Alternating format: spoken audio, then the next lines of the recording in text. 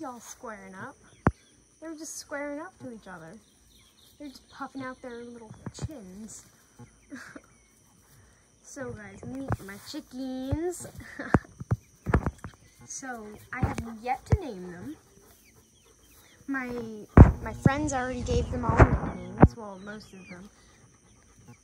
Um, we call that thick one the fat one because we just like making fun of their little little cheeks.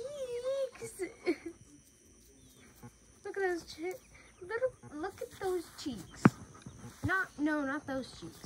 Not those cheeks. Not those cheeks.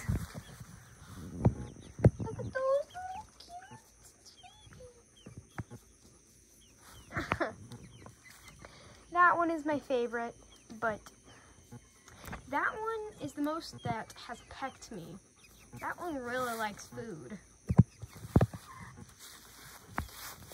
Meet my doggo. His name is Mako. He is that one that I um, that used to have roundworms and he was in my house.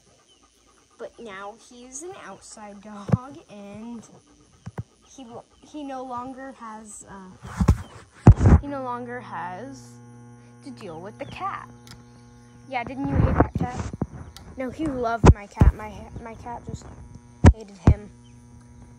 For some reason, he would not strike back at her. cricket. There's an outdoor cricket. I'm not going to touch it.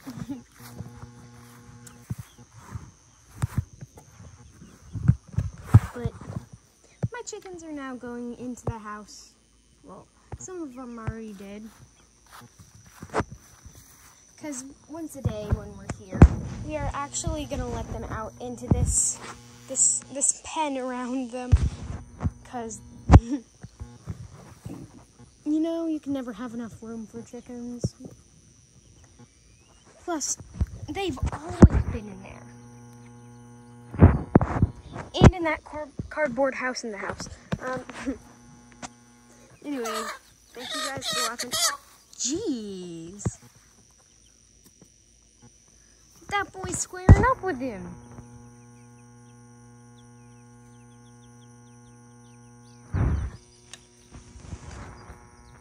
I like how he's just sneakily just running up to me.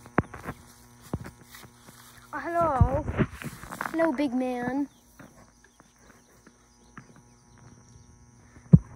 He's not for, afraid of me. Okay. So, thank you guys for watching.